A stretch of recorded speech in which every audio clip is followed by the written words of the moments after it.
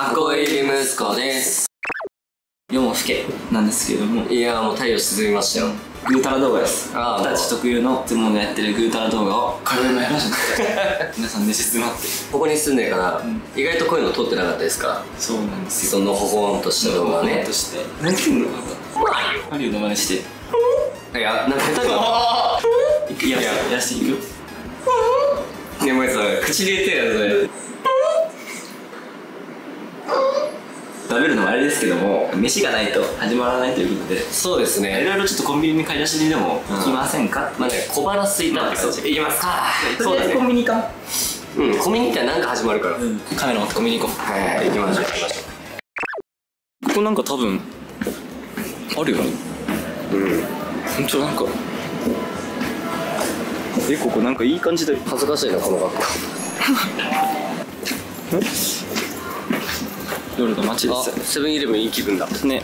コンビニ中入っちゃうとこれで。コンビニのこのカメラ YouTuber すぎない？しかもそのカメライ。エ2000円持ってきたので2000円分好き放題買って大丈夫ですよ。ーイマジっすか？はい。選んでいきましょう。えー、何にしよっかな。いや悩みますね。あどっか行っちゃった。あー気まずい気まずい気まずい。気まずい気まずい気まずい気まずい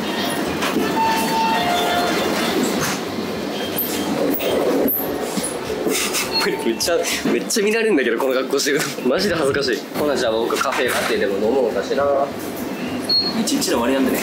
クラフトボス。ヘパリーズ買っとんちゃうぞお前。疲れになったらいけないんであのヘパリーゼ山屋の明太麺めっちゃうまそう。じゃんうまそう。そうです。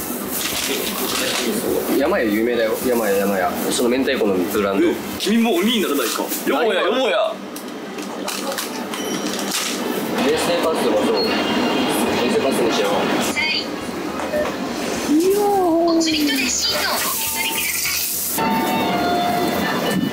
えー、買いました。う買いました。じゃあ戻りましょう。戻りましょう戻りましょう。はい。じゃあ帰ってきましたのでじゃあ早速ね乾杯からしてます。じゃあお疲れお様です。疲れ様です。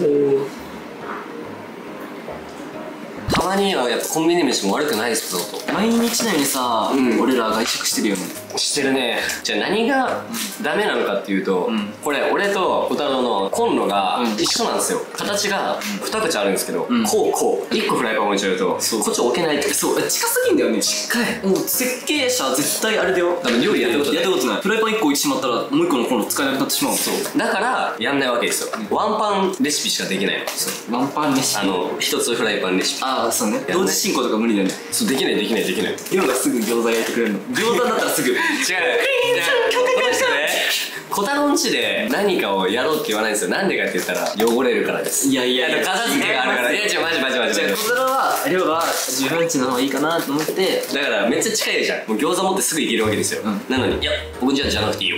僕んちじゃなくていいよ」って言うから。量がちの方が居心地一緒だよまあまあまあそりゃそうだね。いつでも寝れる。っていうのがでかい。だからずっと量がちに居座り続けるから。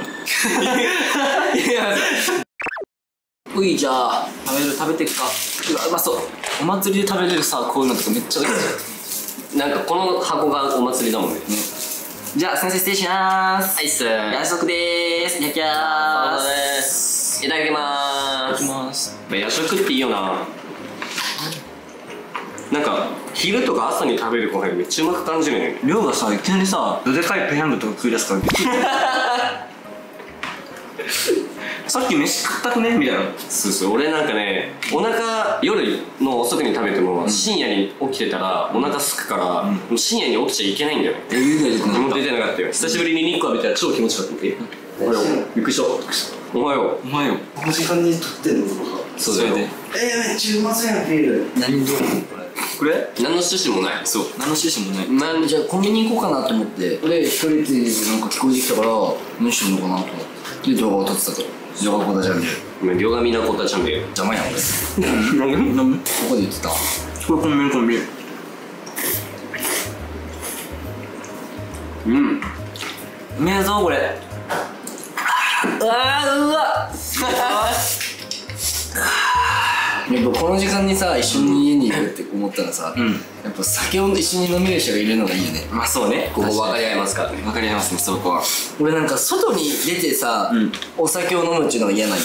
ご飯食べに行って飲むならいいんやけど、ん。ねお酒。飲みに家から出るっていうのがすごい嫌で。あー。だからすごい幸せ家で飲みたいってこえそう。で？も小太郎ん家でゲームしながら飲むとかならいいね。あー。そういうのは好きとはいはいはい。気に入ったこのマリオパジャマ。これいいよ。なんかこのさ部屋冷房効いてるからこのほら来た来た来た。なんでみんな起きてんの？何してんの？K じゃん K まあ声聞こえてきて。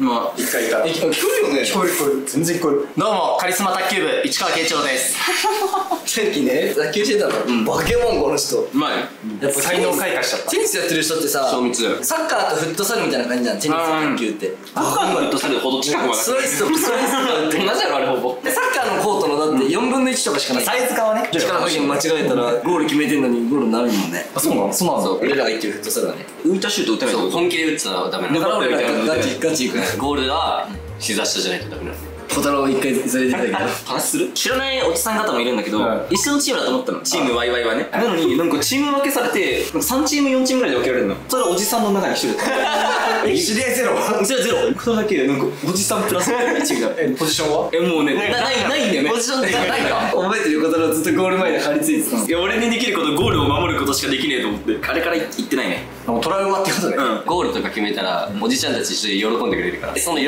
び方がすごいめちゃくちゃ喜んでるってスタッフさんが思ったら2点もらえるの。え気まずいかさ楽しいかってさもう自分のコミュ力次第じゃない？あそうだね。一言も喋ってない。ほぼ喋喋ってなかった口に乗りついてるよ。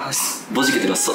みんなで一緒に寝ようよ。あせーので寝る別に同じベッド。同じベッドじゃなくて小学生やん。どういうこと？同じタイミング合わせて寝よう。よはいというわけでゆるゆるチャンネルということで。な何の動画だったの？結局これ。何の動画なんですか 深夜に止まんないよあ首が止まんない深夜だから、うん。まあ一緒になんか話そうみたいな。あ修学旅行的なノリあねそうそう。夜更かししながら酒でも飲もうやみたいな。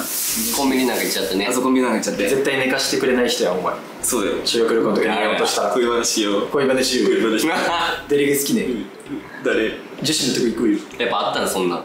みんな。今廊下出てる先生がいるけど僕なかったです。あないんや。ありました。なかった。なんですよね。すぐ寝てた。すぐ出ました。私も。買いに港とかしつこそうようんみんなと絶対必要絶対言うまで終わらない終わんない終わんないそのくせ自分は絶対言わないねもう眠いんだって。寝ますか？寝ますか？はい。おやすみ。おやすみ。なさいでしたずっとずっとこの先も